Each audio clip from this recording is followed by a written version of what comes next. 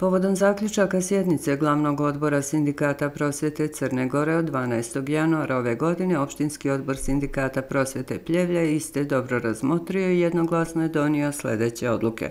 Pod 1. Analizirajući trenutnu situaciju kao i opšti položaj prosvetnih radnika u našem društvu, ne možemo da se složimo sa zaključkom glavnog odbora Sindikata prosvete o totalnoj i dijelimičnoj obustavi nastave jer smo mišljenja da naš protest treba da bude mnogo radikalniji i iz tog razloga smo donijeli odluku da ako nam u januaru ne bude isplaćena zarada uvećana za 10 od 100, glavni odbor sindikata prosvjete, izvršni odbor sindikata prosvjete kao i predsjednik Božović treba da stupe u štrajk glađu kome ćemo se mi pridružiti i istrajati u istom sve do ostvarenja naših zahtjeva.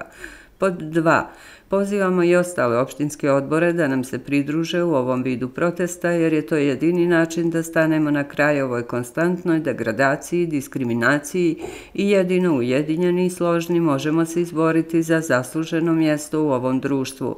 Baš kao i 2002. godine kada su naše kolege nakon neuspješnog protesta u vidu minimuma procesa nastave stupile u štrajk glađu i izvojevali pobjedu za sve nas. Po tri, ovim putem obavještavamo i molimo sve relevantne institucije i NVO udruženja koja se bave zaštitom ljudskih prava i sloboda da reaguju i stanu u zaštitu naših prava i interesa koja su nam ustavom zagarantovani.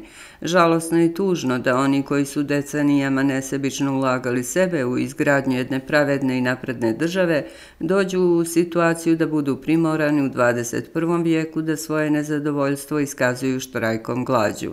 Četiri, ukoliko i pored svih naših najava i upozorenja budemo primorani da stupimo u štrajk glađu, isti će trajati sve do momenta kada će nam zarada biti uvećana za 20 od 100 shodno granskom kolektivnom ugovoru, to jest i za 2024. i 2025. godinu, jer mi nakon svih ovih dešavanja ne vjerujemo više nikome i ne želimo da dođemo u istu situaciju pred naredno obećano uvećanje koeficijena procenata. 5. Od momenta stupanja u štrajko visini i način uvećanja naših koeficijenata više neće biti mogućnosti pregovaranja. Pod šest, za sve eventualne zdravstvene posljedice po zdravlje prosvetnih radnika krivit ćemo nadlažne koji su na svojim postupcima doveli u ovakvu bezizlaznu situaciju.